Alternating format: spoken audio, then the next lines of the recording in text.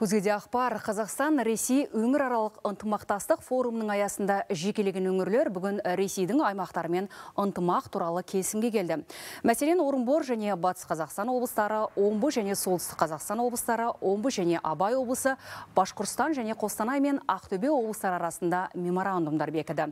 Сонымен қатар Павлодар мен Новосібір облыстары алдағы үш жылға арналған ынтымақты дамыту бағдарламасына қол қойды.